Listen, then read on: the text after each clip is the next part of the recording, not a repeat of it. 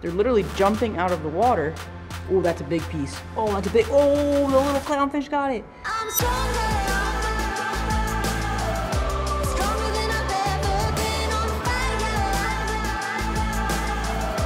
Brighter than the flame I lit. What's going on guys? Welcome back to the channel. Today we're gonna be doing a little DIY reef food. You might be saying, Bianca, what the heck is going on?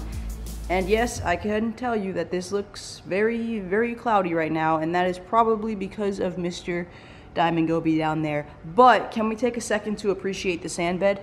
I mean, look at it. It's almost spotless. He did take a lot of sand out of right here. That's the first time glass is shown. So I do have to kind of reposition all my sand. But I mean, look at it.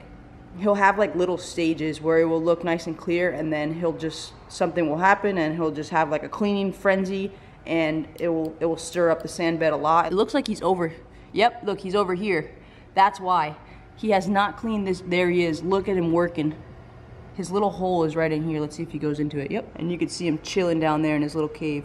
I don't know what he's he's like coming in and out, but that's his little spot that he made. Basically, I talked to the fish the other day and they were telling me that they were hungry and that they wanted some new substantial food source that they could just have an all-in-one bite because I ran out of my frozen food a while ago, and then I've just been using like frozen mysis chunks occasionally or pellets, and I kind of switch off between the two. But they said I want something yummy, and the corals all agreed. So that's what got us into this situation right here. Jason is the one who originally found this BRS recipe the first time that we made it, so I'm gonna go recruit his services. But we don't use the entire BRS recipe just because it is a lot of stuff. But you will see how we break it down. Here are some of the goods that we already had on deck. We got Reefroids, we got whatever this is that Jason just had here, Silicon.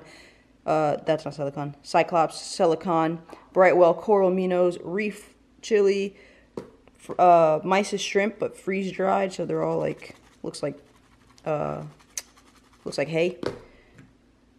Paracoccus powder, spirulina powder, and then we got some seaweed, regular nori, and purple sheets from Two Little Fishies. We are missing some of the key ingredients, the protein in this fish food, so we got to go pick that up. Squid, scallops, uh, tuna, raw shrimp, things like that to add a little bit of a oomph to the to the food. You know what I mean?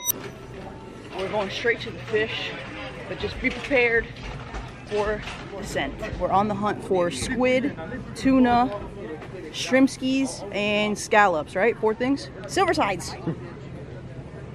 this is a good spot for bait. Oh, there's fish in here that I didn't even know existed. Squid. Yeah, but is it this is that has the the stuff in it? We need uh, the clean one, no? Wowzers! Cut the same thing. That guy is humongous. Two and a half. Yeah. That thing is big as. Here are the shrimp skis. Gosh, it freaking reeks over here. A little bag like this? No, they're cooked. You want raw. Oh, raw, yeah. I think I got it. Tube and tentacles. Fine. Squidski? That's it, no? Looks pretty clean to me. So we got the squid. We're still missing the tuna and the shrimp. They only had farm shrimp. Jason wants to get. What do you want to get? Wild caught. Wild Wild caught shrimp. So uh, we gotta hit up a neighborhood Walmart now and see if they have what we need. Wild scallops, thirty dollars. My fish ain't getting that. Tuna, hidden tuna. Is that tuna? Tuna steak. Oh, and then we have tuna. Promotes healthy oceans. I like it. And 724. Not bad. I found the wild caught shrimp. They're just way more expensive. Ten dollars for the mediums. Wild Gulf shrimp, raw medium, peeled and Four dollars more. You want that one, right? Mediums. I think that's fine, no? So we got the shrimp, the tuna, and the squid. We're gonna pass on the scallops. They were 30 bucks. We're balling on a budget, so we're just gonna beef it up with some other stuff. And we got the goods. So there's some nice little tuna steaks right there. Shrimp ski, wild caught, wild Gulf shrimp, and squid. A mixing tray. Got a food processor. Boop, boop, boop. This is not our original recipe. Shout out to Bulk Reef Supply for doing the detailed rundown on like a bunch of fish food. We just kind of picked and choose what we preferred to use that wasn't going to also cost us like an arm and a leg, along with what we kind of already had on deck just for, for our tanks in general. So that's what this is, and that's what we'll consider, you know, the ultimate reef food because it's got that boom, that that bang in the protein, the coral food. It's got the stuff for the little fishies, the big fishies, for the herbivores. We picked the best things that we felt our reefs could be- benefit from. I feel confident using all of the squid body and no tentacles. No tentacles? No tentacles. Mmm, that looks yum. Oh. Bye bye. Jeez Louise, that shit is frozen. How many of these you want to use? All of them, no? Oh, you were just saying that there's going to be too much. No tentacles, just all that. Slippery. Dang, that thing works fast. Uh oh, that's a freaking big one.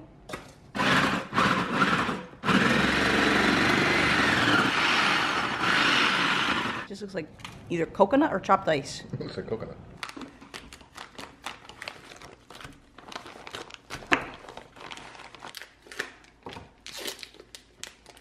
Looks like a block of soap.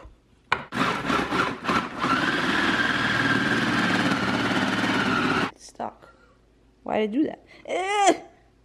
Eh! What the heck?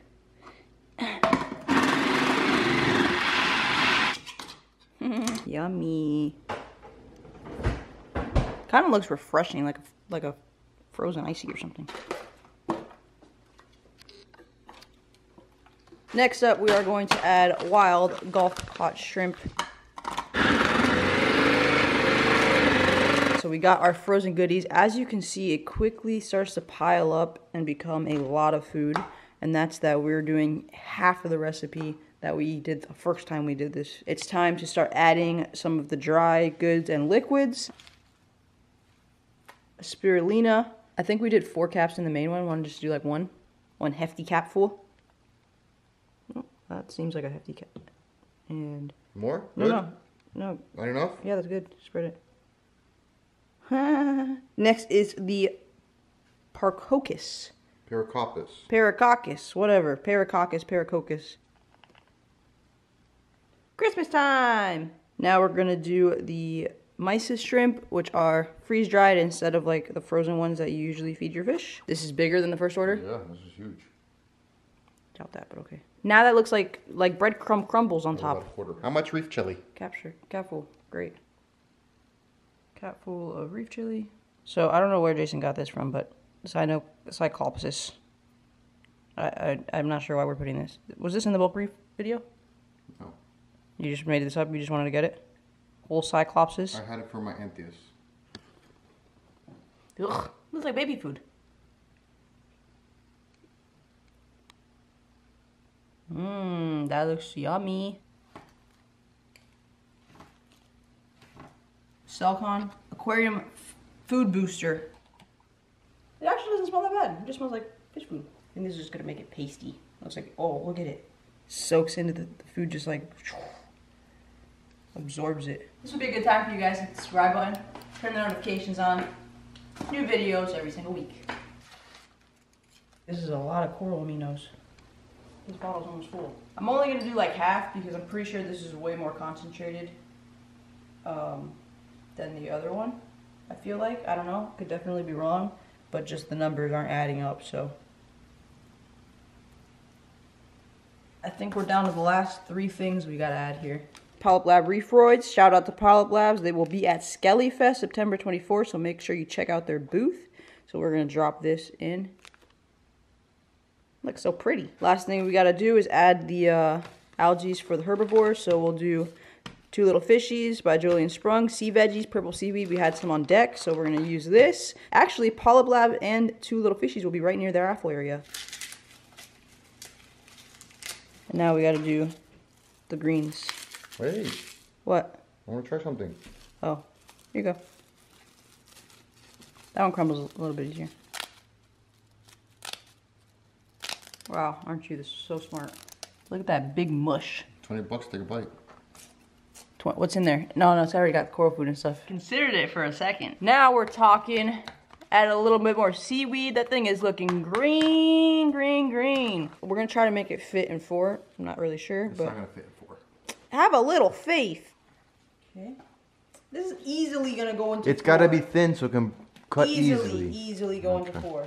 Easily watch. Trying to make a best in the bag. Okay, that's it. Hey, who's packing over here? Make sure you're filming right, huh? Don't take the air out yet. I left a little gap. No, you didn't. Why can't you just let me live my life?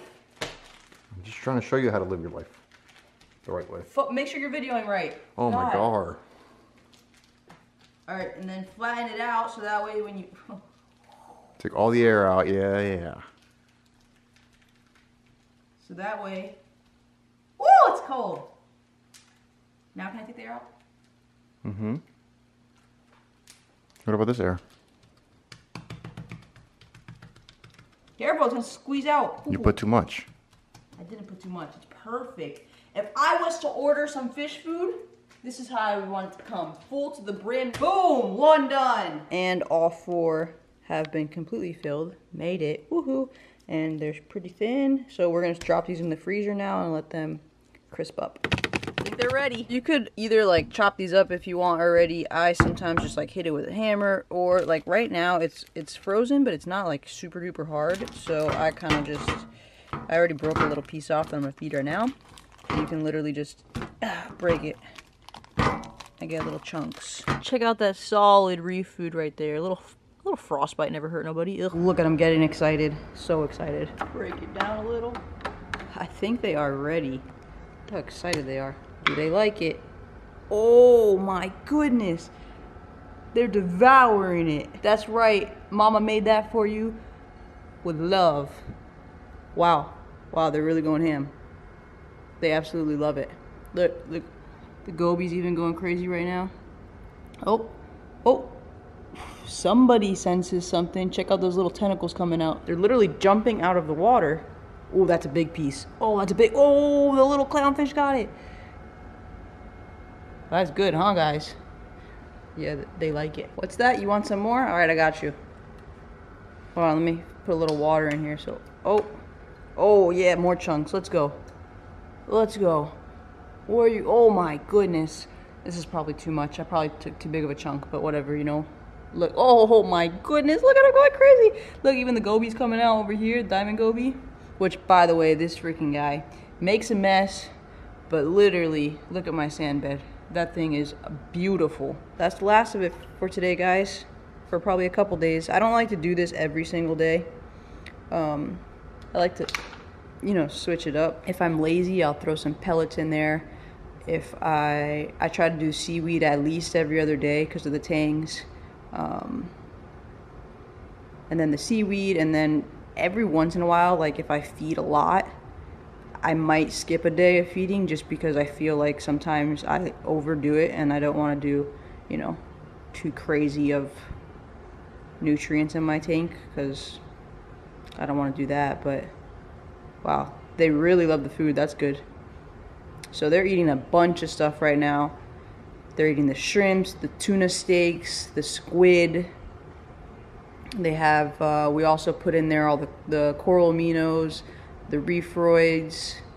We got algae for the tangs. You know, um, there is a big mixture of food in there. And as you saw, we got four little uh, Ziploc bags filled with that. So that's going to last. And you saw the tiny piece that I put, which again, I probably put a little bit too much. I fed some to the nano tank. Um, but I probably could have done maybe like maybe maybe like three quarters of that size that I actually did, and you know I probably got maybe 80, 80 servings that I can get out of that one um, out of that one Ziploc. So that's a lot of food.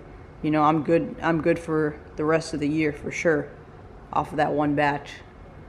So and it's pretty cool that you know you made a little concoction and you put it put it together so definitely a big shout out to brs for putting that initial video together and kind of giving everybody the ideas on on things that would be good in the frozen reef food. Um, and then i definitely recommend checking out that video because you know you might want to add other stuff that we didn't add you know? Maybe your maybe your pocketbook looks a little different and you want to beef up the food and your corals and your fish a little bit more then by all means they give you a bunch of options of different stuff that you can add in there and really go crazy with it. This is uh, just what seemed to work best for us the most affordable while getting still the great benefits of the uh, homemade reef food. There we go, guys. I think it is safe to say that the fish love the frozen reef food, the corals love the reef food, everybody loves the reef food that we just made. If you guys like this content, smash that thumbs up button. Really helps out the channel. It is completely free. Also, don't forget to hit the subscribe button and turn the notifications on because we got new fish videos every single week. You are gonna wanna be here for it. Don't forget, September 24, 2022 in Miami, Florida, Miami, Florida. Skelly Fest, the Ultimate Aquatic Expo, is going to be happening right here. You guys do not want to miss it. Get your tickets. They're only $12 online right now. www.skellyfest.com. Thanks so much for watching, guys. I hope you enjoyed the video, and we'll see you in the next one. Later.